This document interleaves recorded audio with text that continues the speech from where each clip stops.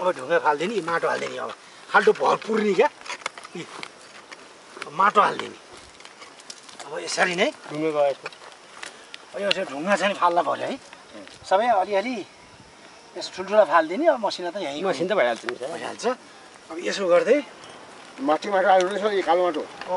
हुन्छ भने त त्यो धेरै राम्रो नि। यहाँ भएको राम्रो हुन्छ यहाँ माटो अब। पछि पानी हाल्यो म फेरि देखाउँछु अहिले। मल चाहिँ नि माटो बाहिरको माटो मुनि हालिदिनुहोस् है सबै।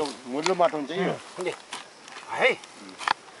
आहा माटो। यो मुल्लो माटो हुन्छ अस्तिको दौडा खाल्टा खानले अहिले पन्ध्रवटा खान्छ ल्याउनुहोस् त। अस्ति हा। माथि माथि माथि माथि मात्रै हो नि सर। तर त ढुङ्गा बठा कहाँ पानी पस्छ लेख्नु बाबु। माटो है? कहीँ कहीँ त्यस्तो अँ। ठाउँ होला। त्यसलाई अन्तबाट नि हामीले माटो ल्याएर अब भतिज। अँ त्यो त। सबै माटै माटो मात्रै हुँदैन नि। सुरु चाहिँ